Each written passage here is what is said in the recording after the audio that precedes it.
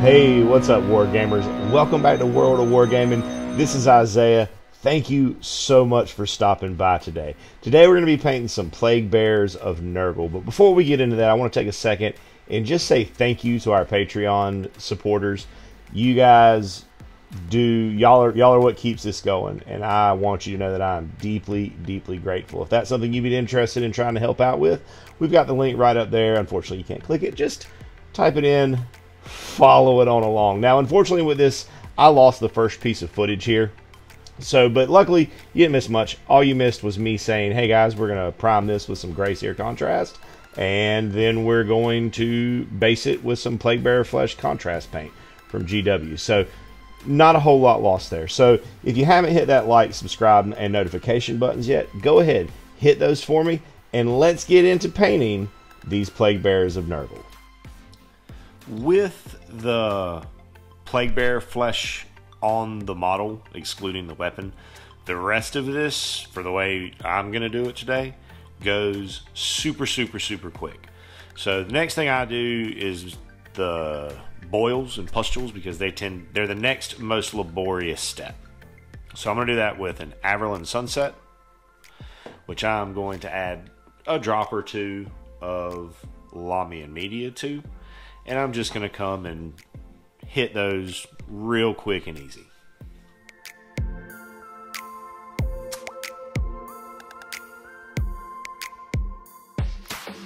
With that bit of work done, we're going to let that Averland Sunset dry for a second before we do the little pustule head on there. Moving on, I'm going to go ahead and take some skeleton bone from the Army Painter, but Ushabti bone from Games Workshop, or whatever color you happen to have, whatever bone color you have and like to use, will obviously work here. I'm to also add probably a little, just touch of Lahmi into this. The Your whites, your off-whites, your beiges tend to run a little bit thicker than some of your other colors, no matter who makes them, it seems. So almost all of them need just a little bit of medium or water, whatever you prefer added to it. So we're gonna take this, we're gonna hit the horns, the teeth, and the toenails with that color.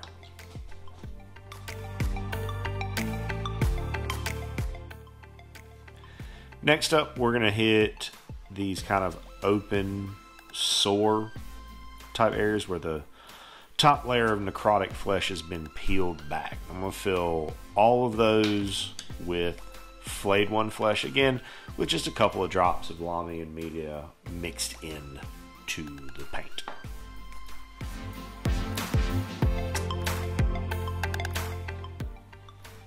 Next up will be the weapon, which I'm going to hit with some gunmetal from the Army Painter. By the time we've knocked out these other colors and bits of the model, our Averland Sunset should be dry. So we're going to take just a little bit of white and mix that into our flayed one flesh and just come and put a little dot on the top of each one of our yellow boils. Last step before putting a wash on these overall, which is a well I'm aware that these dots may look a little bit bright right now, but we're going to put a wash of Agrax Earth Shade over all of that.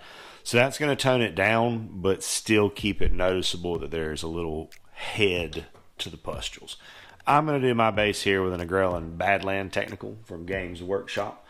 But you feel free to base your model however you base your model, obviously, to match the rest of your army or whatever it is that you envision for it. Um, with this particular technical paint, the goal is to just slop it on thick, set it down, let it dry.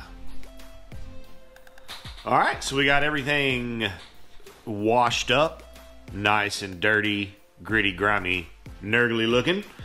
Next up, I'm to do the eyes and the innards. Anywhere where there's guts or anything like that hanging out, I like to wash that with a Druchii Violet. I feel that this, because of the yellowish green as well as the yellow that we're using for the pustules, that this little bit of purple wash, because it's a complementary color, will really, really pop on the model a little bit and give it a little bit of pop, a little bit more contrast. On the eye, and this is totally necessary. You could do a lot less than this for the eyes. This is just the way the rest of my models are painted, so it's the way I'm going to do this one. And that's to fill it with a layer of Doom Bull, and then a big dot of Averland Sunset, and then a little dot of Troll Slayer in the middle of that. And then we'll black the rim, and we'll be done here. And that, fellow wargamers, is a finished model. I'll put a clear coat of some Testor's matte enamel dull coat on this, it'll be ready to hit the tabletop. I hope that if you sat through this whole video today, I hope that you found it helpful in some small way, if even if that small way was just to laugh at me along the way. I hope you have a great rest of your day. Thank you so much for stopping by, and we'll see y'all next time.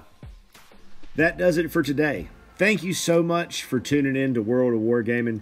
If you've enjoyed the content that you saw today, consider hitting that like button for me. If you want to see more content like what you saw today, consider hitting that subscribe button and hitting that bell for notifications so that you get alerts whenever I post new content.